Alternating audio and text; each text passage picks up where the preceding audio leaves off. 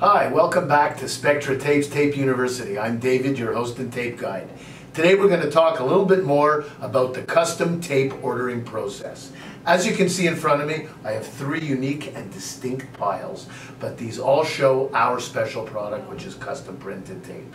What do you need to know when you're ordering? Well, number one, you've got to choose the color of the tape you'd like. All these types of tapes are available in three colors. Clear, here. This one actually has a single color print.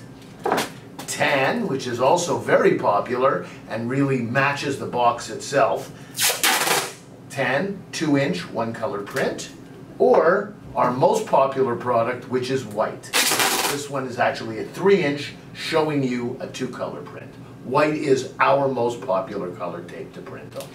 With that being said, you then going to choose what you would like to order on your tape. Would it be, like I showed you on all those other ones, a one color process, as you can see here, white with a green print?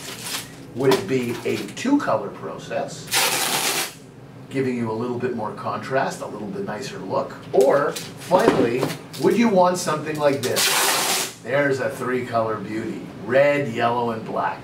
Really highlights the brand, really stands out with your product name. That being said, you're going to be on your way to ordering your custom printed tape. We can do specialty work like flood coat, like you can see here, giving you a very nice color and a contrast. We can do highly graphic detail. Look at that. Lots of colors, lots of things going on on that custom printed tape.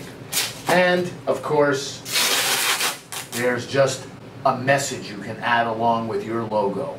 This is also very important. It helps pilferage and it stops people in their tracks knowing that your brand is secure on that box. I'm David. See you again on the next installment. Bye-bye.